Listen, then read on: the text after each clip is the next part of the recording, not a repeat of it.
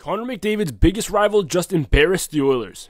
Drafted just behind McDavid at second overall in 2015 by the Buffalo Sabres, Jack Eichel scored a back-breaking goal to put the Golden Knights up 4-1 in the second. Watch Eichel recognize the breakout opportunity, take off to the inside, and then shift gears back to the outside to drop the Oilers defenseman Bouchard, and then Eichel is able to take his time and pull the puck in to open up some room, and then just dart it low glove side for a beautiful goal. He then taunts the Oilers crowd as a celebration. This shot goes just under the glove of Skinner, and the Oilers drop Game 3 5-1 to the Vegas Golden Knights. While obviously not the response the Edmonton Oilers wanted, at the very least, their top guys have proven that they show up in their response game. Because the Oilers have yet to lose back to back games in the playoffs this year, and that's all the more reason to not worry so much about the final score of tonight's game. One thing that's really interesting about this Edmonton team, when they lose, they never look like themselves. But when they win, there's always something special happening.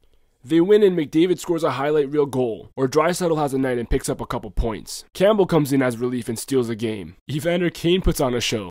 The Oilers definitely have to be one of the most entertaining teams to watch in the playoffs. But if you recall, there was a time where Jack Eichel actually said that he felt he was better than Connor McDavid, that he should have been the number one pick. Well, obviously in hindsight, he couldn't have been more wrong, but you know he loves to go up against McDavid, especially when he gets to score goals like this one. Now we're in for a tight series between the Golden Knights and the Oilers. McDavid's definitely got a couple more highlights on the way, but because the Golden Knights were the least penalized team in the regular season this year, if they can stay out of the box, they might actually have the upper hand on the Oilers. Of course, only time will tell, and I want to know your thoughts on this series, and most importantly, this game. So let me know in the comment section below how many games will this series go. Hit that subscribe button for more hockey content, and drop a thumbs up for more NHL playoff content. It's Kappy, and I'm out.